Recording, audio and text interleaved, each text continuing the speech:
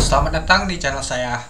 Di video kali ini, saya akan bahas hal fix teman-teman.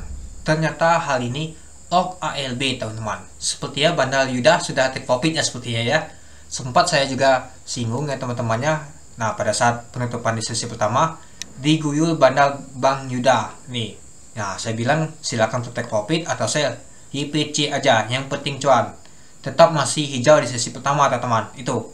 Nah pada saat sesi kedua tahunnya langsung dihantam ke bawah OG ALB teman-teman.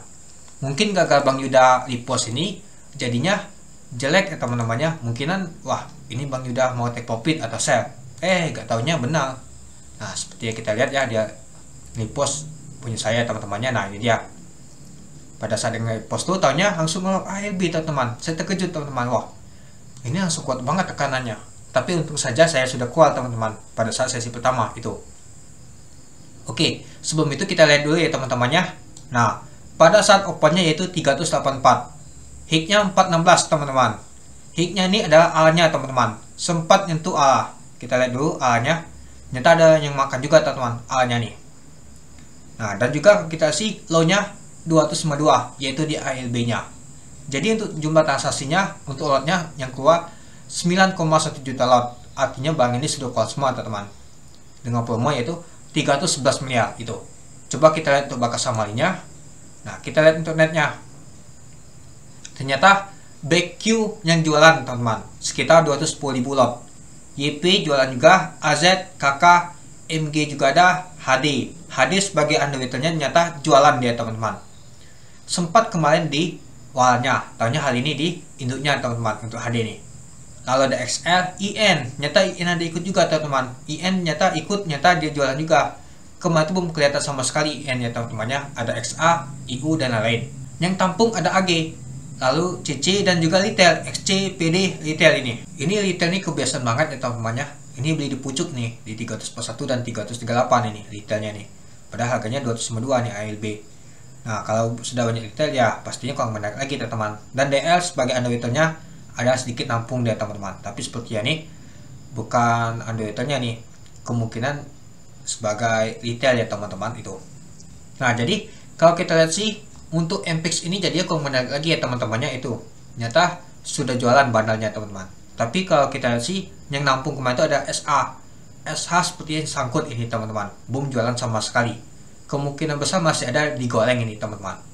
Untuk besok kemungkinan dia open ke bawah ya low ya teman-temannya nah apakah nanti dia lanjut langsung dihantam ke bawah lagi ALB atau mau sebaliknya?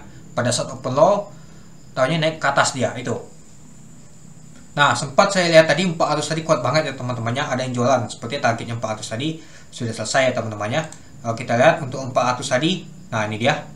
Ini paling banyak teman-teman transaksi tadi. Saya lihat ada tembok sekitar 100.000 lot. Tanya habis gak tanya habis itu mau naik ke atas dia langsung dihantam ke bawah. Dia hajar haki ke kiri teman-teman. Diguyur ke bawah dia. Nah itulah dia jadinya gagal dia teman-teman. Dia sudah masuk 400 itu tahunnya gagal. Turun ke bawah dia teman terus turun.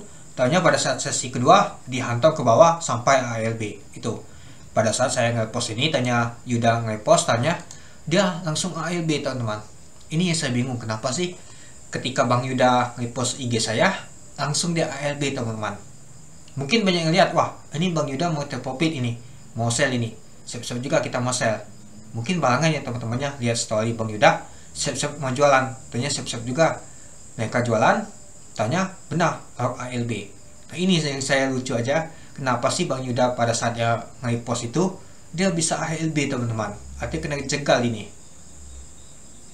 Kalau gak di repost mungkin gak mungkin ya teman-temannya ya tapi kalau kita lihat sih memang ada guyuran teman-teman itu pada saat sesi pertama tadi.